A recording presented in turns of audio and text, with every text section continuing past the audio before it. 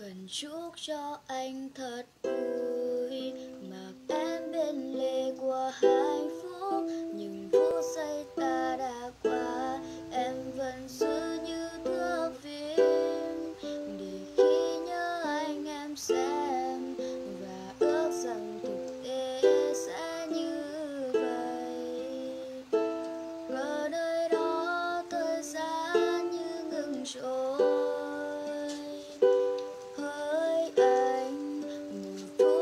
trước mặt anh một phút nói ra lời chưa nói, một phút mạnh mẽ từ em.